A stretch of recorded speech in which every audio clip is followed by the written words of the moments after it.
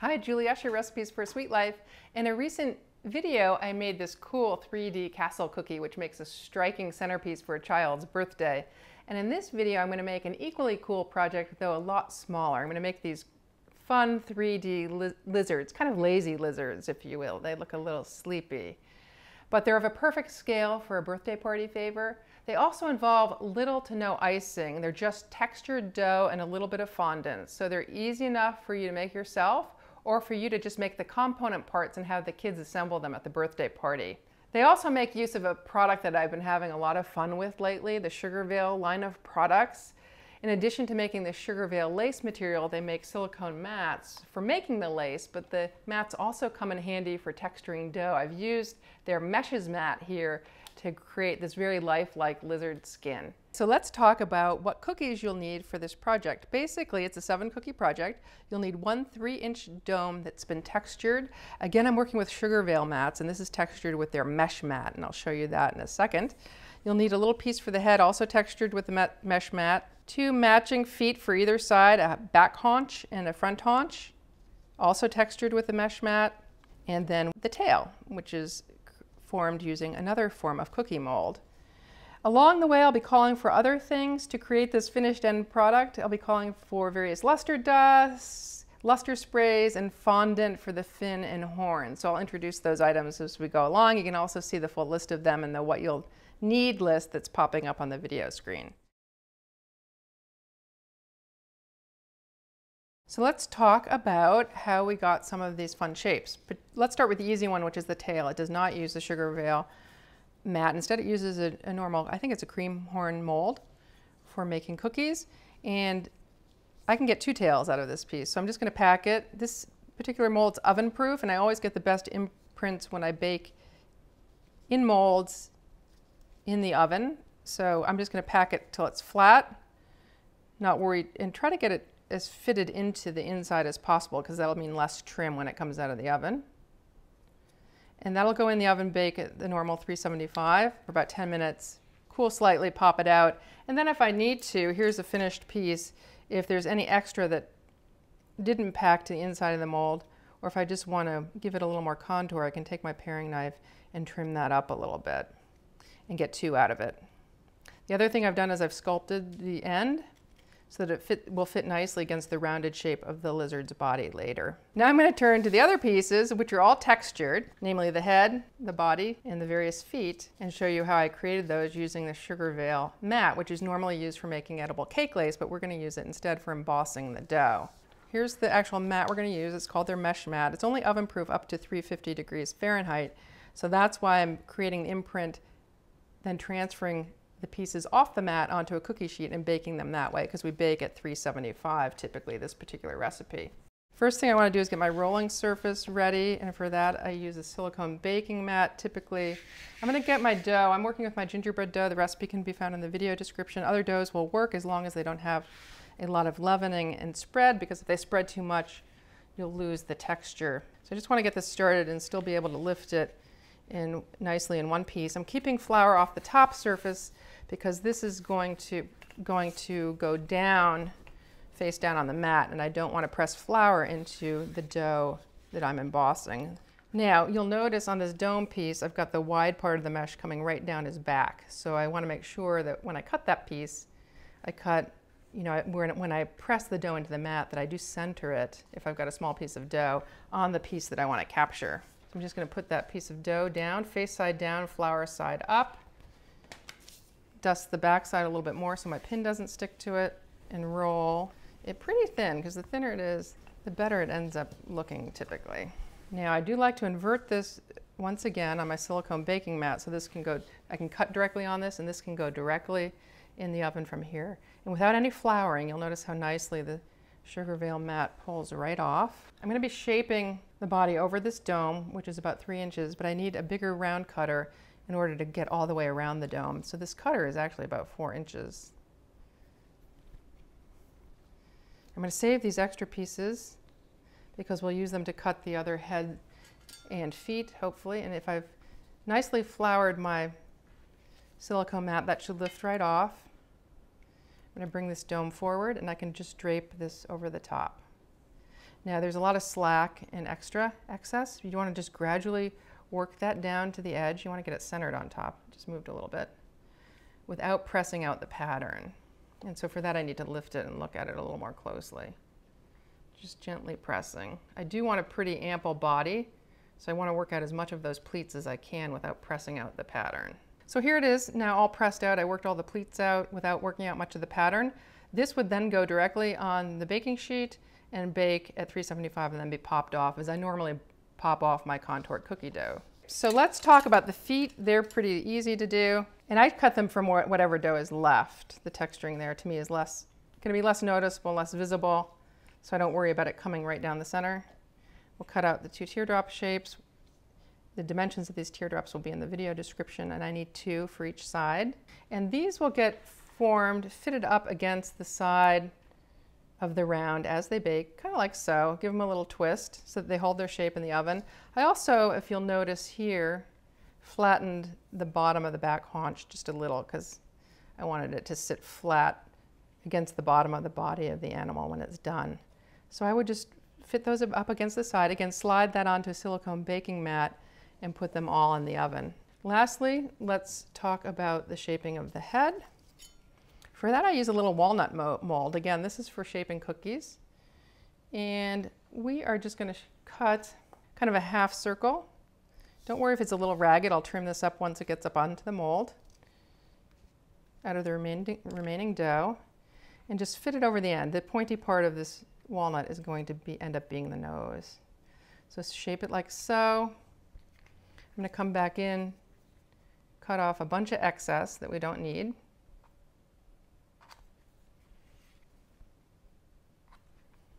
Also around the bottom.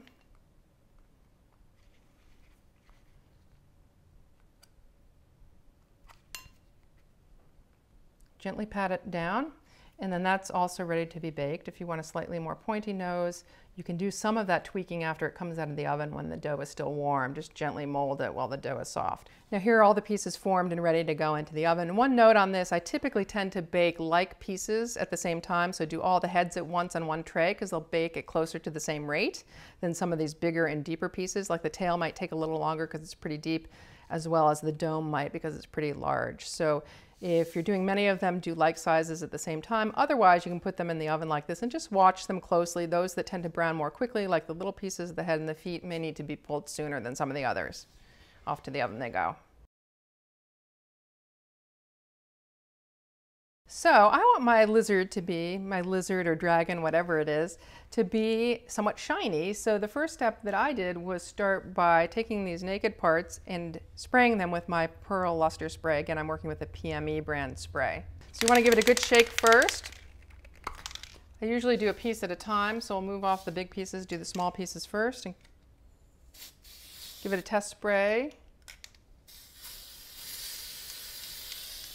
And then work in small circular motions. Now, the advantage of an actual airbrush is it comes out with less pressure than some of these can sprays, so the pieces are less likely to move around. I'm going to anchor these with my hands just a little bit so they don't move around on me so much. Of course, I'm airbrushing me a little bit. Or get it at further, slightly further distance.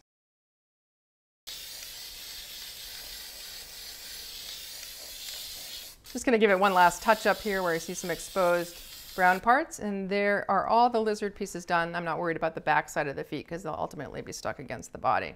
Okay, so we're ready to give the guy a little color and what I've got set up here is a little paint palette. Into this dish I have just my straight up liquid gel leaf green coloring, which I'm going to do a dark green stripe down the middle and then I'm going to then pale that out with a little bit of yellow to do more of a lime green stripe around the underbelly of the lizard. Now, I don't want to put it down straight up just solid green because it'll be very, very dark. So I've thinned it in this area with a little bit of extract. You can also use water, but I find that the extract evaporates more quickly and is less likely to kind of really dampen the cookie. So I'm using a sponge brush for this technique, getting some color on there, but also sponging off the excess before I put too much on the lizard because I just want a slight accent of green. And I'm going to start by just sponging gently up and down motion rather than a sliding motion because with the sliding motion I can get a lot of dark green into the lower areas and I'm just trying to keep it mostly on the high points if I can. Sometimes I'll do a little bit of a side to side motion, but only if I know I don't have a lot of color on the, on the sponge brush because I don't want to get too much in those recesses. So we're going to continue all down the center area with that. And as I use up paint, I'm going to have to mix a little bit more. It's nice to have a test cookie near you to try the color on, which I always do before you put it on your finished product. Get a little more on the sponge brush, gonna blot it dry. It is a little bit darker, so I may end up going over the whole thing a little bit more.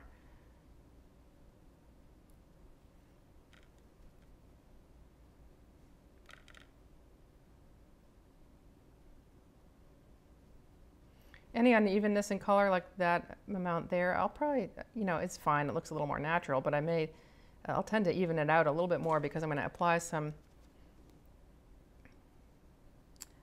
just dry dust at the end to just kind of even out any variations in color. Okay, so I think the green on the top is kind of nice. It's a little softer than the example I have off to the side, but that'll do for lizard. And it's still shiny, so you still see a lot of that pearl dust coming through. Now, without much cleaning, I'm just going to add some yellow, like quite a lot of yellow to this. It might actually mix off to, it might actually mix off to the other side. And take my brush that had yellow on it and create more of a lime green color for here, for the, the belly. I'm going to blot a little bit here and just start by sponging lightly. Rather than spreading. So again, it's more of an up and down motion, less spreading to keep it out of the low parts. A little bit in the low parts looks good.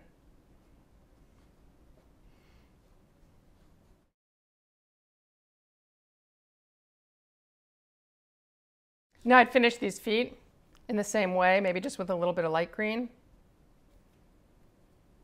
Same thing with the head. The tail also, I'm just putting a little light green highlights on the top. And here I'm using a little more of a spreading motion. I just want to get the high points, the ridges on the tail. Oops. And I'm finding that a gentle kind of swipe gets them pretty fast.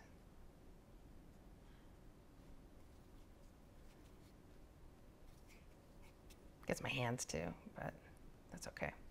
Okay, so the tail is done, the feet are done, and I do the head in the same way as I would do the body. If you feel like the color gradations are too abrupt or you've lost some sheen, you can come back in with dry dusts.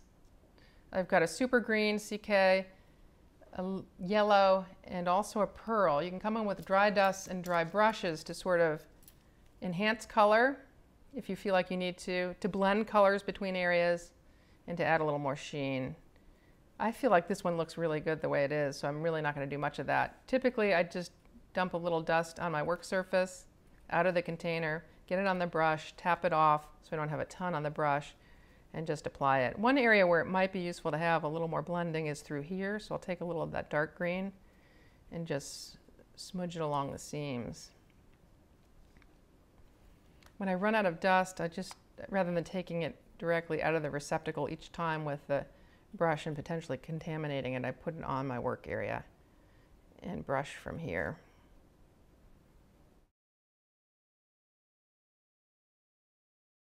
Now let's talk about some of the embellishments that have gone on this guy here. I've got some fondant pieces that were laid on, namely the horns are done in a dark green fondant, this color here. We've got a fin that's going down in a light green fondant. It's going to get a little airbrushing, and we've got eyes that are made out of the dark green fondant, black fondant, and also some little yellow candy balls. So I want to start by making the eyes and the horns because they need to dry completely before they go on the lizard, whereas the fin gets applied when it's still able to be molded and shaped. So the fin will get made last right as we're assembling the pieces, the whole lizard. Okay, so for the horns, simply take a little green fondant and just create a tapered rope, basically. You can do this either on your cutting board or in your hands pretty successfully. And I like to do one really long one, big one for the center, right between the eyes, and then taper them off so they get smaller and smaller as they come towards the side of his head. So this might be one for the center. We'll set them off to the side. You could cut one down that's already big to create a smaller one. So really easy to make those horns and you'd want to make six or seven of them to go all the way around his head. I've got some pre-made that are already dry that we'll attach in a moment. Now for the eyes, they look a little funny here, but this is how they're going to be placed side by side so you don't see any of this sort of seam on the back. I chose to use little yellow candy beads. These are about a five millimeter bead is my guess. They're a little bigger than the normal dragée. And for them, I've rolled out a little bit of black fondant to the number three setting on my pasta machine. So I've got a nice piece of green rolled fondant as well. And this is going to form the eyelid. Okay, so first things first, let's cut out the, the pupil of the eye with the black. And for that, I'm using a tiny tip. I don't have a cutter that small, so I'm using a number five tip, round tip. And it tends to like to stick in there. So to push it out, I push it out with a paintbrush, something that's not going to leave a big dent in it. We're going to need two of those for these eyeballs for both sets. So let's get them out.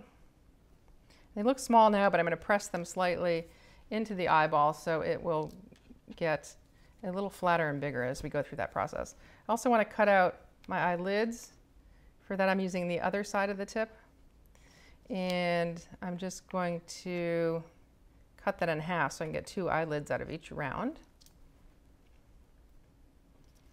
Now taking a little bit of, moving the beads aside, bringing in a little corn syrup, just a touch. I'm going to put a touch in the center, and that's where I'm going to attach my pupil. If it's hard to pick up, take, take the tip of your trussing needle, place it on there, and then I like to press it down a little bit just to round it out a touch and to flatten it closer to the eye.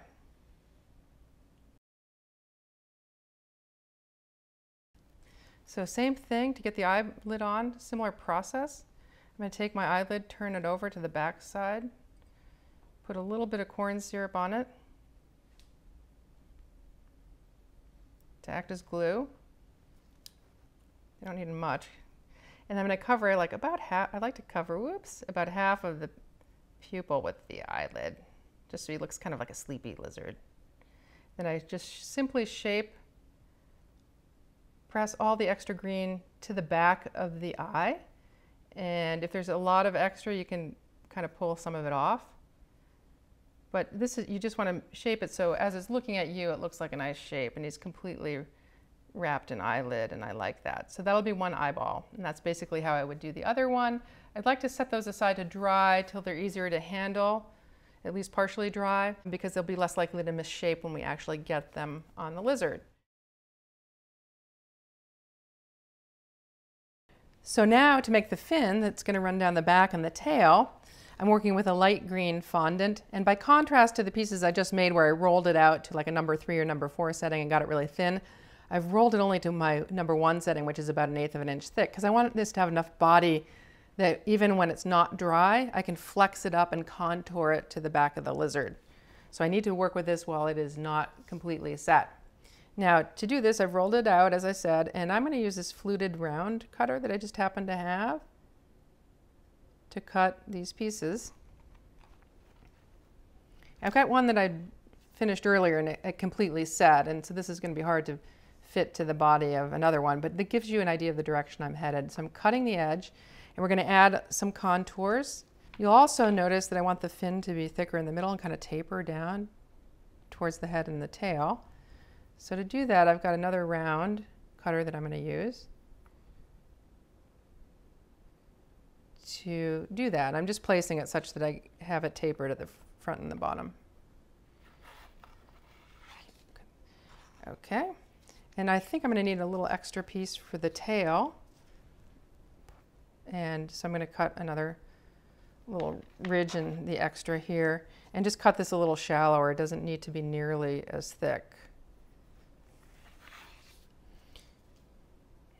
And in fact, I'll cut it to a nice point at the end. So that'll be the end of the tail and this will be somewhat towards the top. We'll trim these more as they get onto the body of the animal in the next step. But to add this dimension, I, I just wanted to show you what I did. I simply scored with my paring knife You can also use like a pizza wheel to run through here, but you don't want to go all the way through or you'll cut through the fin and you don't want to do that. And you can do this to, back, to both sides of the fins. Here on video I'm just doing it to one, but on the lizards that I have in demo I did it to both sides so that it views nicely from either angle. So now we're ready to airbrush these and then instead of using color mist, which you could use, color mist comes in a can in green. I'm using an actual airbrush because you can get much more control with it, much more precise placement, and it doesn't push with nearly the same force if you have it on low speed, low compressor speed. So this isn't going to blow around quite as much. So I'm using my particular airbrush, which is a single action airbrush and operates on three levels. And I'm going to turn it on now and, and I'm going to be spraying at kind of a 45 degree angle just to kind of shoot up each of these little lines that I scored to give it a little green burst of green. But I'm going to do this on the lowest setting so it doesn't fly around too much. So here goes.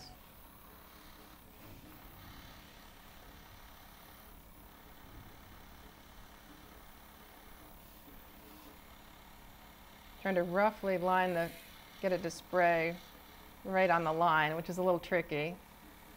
So you get the feeling for it. And now I feel like I, have got it coming along. Just adds a nice kind of lifelike kind of highlight. I'm kind of spraying sideways. You can see it doesn't get nearly as airborne as some of those other sprays that I've been working with. If I can get a little darker at the base, that's kind of nice too.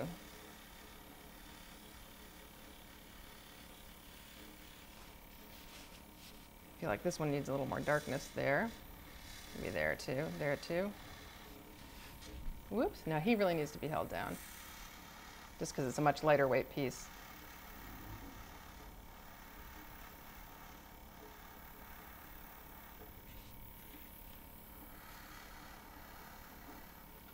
Yeah, that looks good. And now if I were doing both sides, I wait for those to dry a few minutes, flip them over, and do the exact same thing. Okay, so my now that the fin's done, and its fin, mind you, is still pliable. It has to be, or I won't be able to get it up on the lizard. The first thing I want to do is get it mounted on. So I'm just going to use a teeny bit of thick royal icing green glue to get it in place. Very, very little. You'll see how nicely it conforms to the top of the dome. If any is sticking out, I can clean that up later. We're just going to anchor it in a couple of spots, really at the top and also at the bottom, the back side, because that's all that's really needed. And the less glue I have to clean up, the better. And I'm going to, I've, I've, I've situated it such that my head should come in right about here. So that's good. It's got a little bit of a turn on it, which I kind of like. I'm going to anchor it down here as well. And then the next thing to do is to cut off the extra and put the head into it while it's still wet so that we don't crack the fondant. And if this shifts, we can just lean it back a little bit until it fully sets. So for this, again, a little bit of green glue.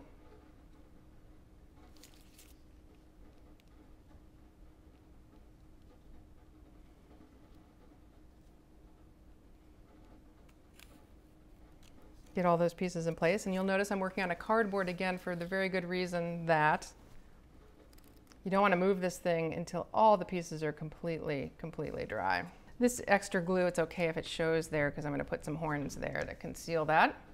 The next piece I want to get on is the tail, again, while the fondant is still pliable. So I'm going to be pushing it into here. I can cut off some of this down here to make room for it. And we'll glue that right up against the edge.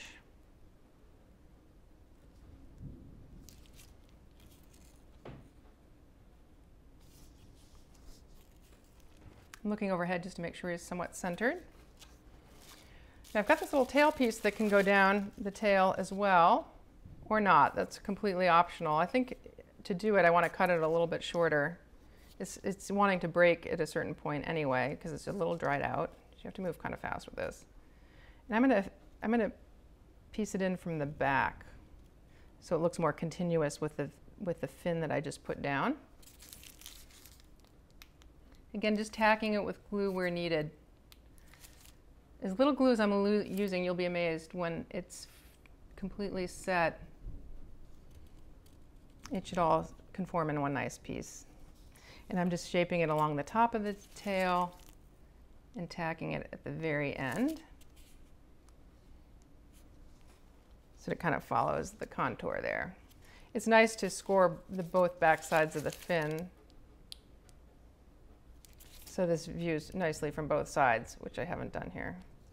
But I'll show you it on the finished piece.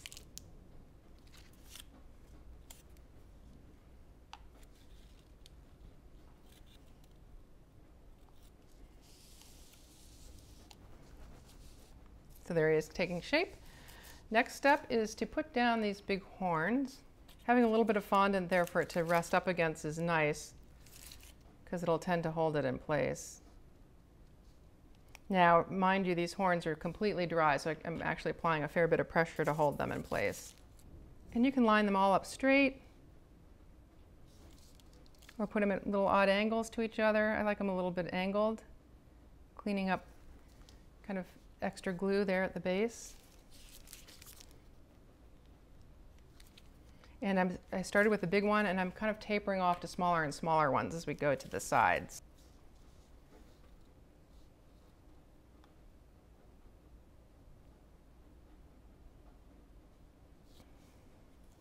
Looking pretty good. Let me get that foot on now. And we'll get the other side of horns and then we'll put on the eyes and any finishing touches. So these eyes that we made earlier, I'm just sticking down with a little more royal icing glue.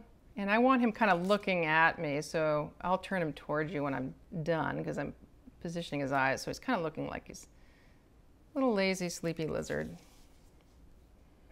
Great, and so for the last details, just to clean it up a little bit and to give it some little highlights because it's mostly all green, we're going to turn back to my handy icing of beadwork consistency and lay down some orange dots and yellow dots. And ideally I would wait for everything to be completely dry before I do this because there's some chance of knocking things off in this process.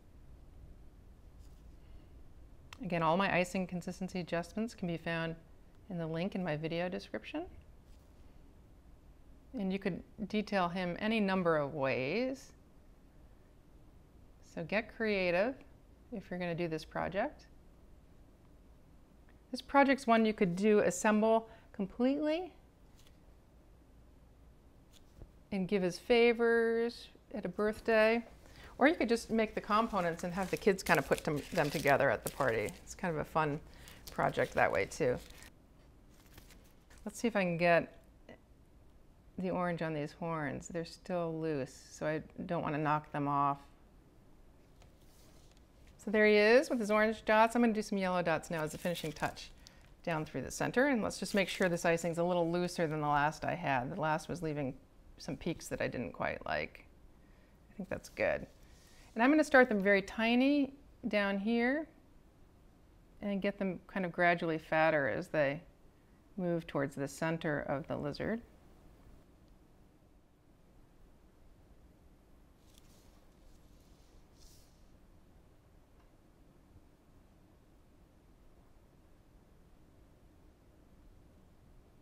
It's nice to have your cones pretty full for this task so that you can reach into these harder to reach places. And there you have it. The one last detail I have over here, I have actually a fondant feet on the one over here, but we're gonna skip them. I think he looks good with just the feet as they are. I did also stick in a few little yellow dots down here around the face, again to kind of conceal the joints between the horns. I think that finishes it off rather nicely. And there he is, Lazy Lizard, all finished.